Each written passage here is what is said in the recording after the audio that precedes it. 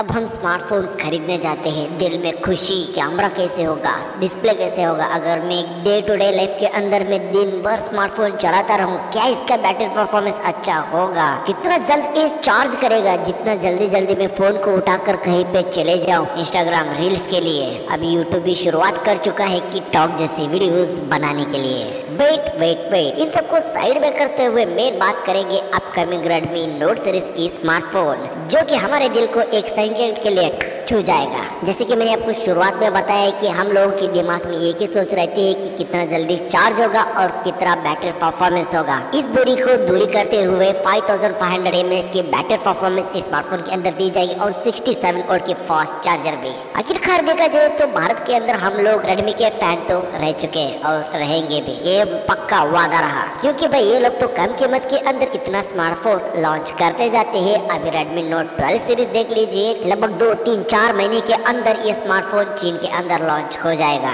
बात कर लेते हैं इसकी इंटरेस्टिंग कैमरा क्वालिटी से। हमको Redmi Note 10 के अंदर देखने के लिए मिला था 108 मेगापिक्सल्स की कैमरा सेंसर Redmi Note 11 में ज़्यादा से ज़्यादा हम प्रिडिक्शन कर रहे थे कि ज़्यादा कैमरा क्वालिटी मिल सकता है, पर हमको सेम एज 108 मेगापिक्सल मिल चुका है। इस वाले स्मार्टफ़ोन के अंदर ना 150 मेगापिक्सल्स की प्राइमरी कैमरा सेंसर हो सकती है। इतना ही नहीं दोस्तों 8 मेगापिक्सल और 5 मेगापिक्सल्स के और दो सेंसर होंगे जो 5 मेगापिक्सल्स की मेरे को यूजलेस लगता है और 8 मेगापिक्सल्स की शायद मज़ेदार हो सकता है। फ्रंट में भी हमको 44 मेगापिक्सल्स की सेल्फी स्नैपर देने वाली है। लीक्स और रूमर्स कभी भी चेंज हो सकते हैं। शायद इसकी डिज़ाइन भी। ये ताली तो बननी चाहिए यार तुम्हारे दोस्त की इतनी मेहनत भरी वीडियो के लिए। खैर, मेरे को ताली तो सुनाई नहीं देगा, पर इस वीडियो को एक लाइक कर दीजिए। वही मेरे लिए एक ताली के बराबर होगा।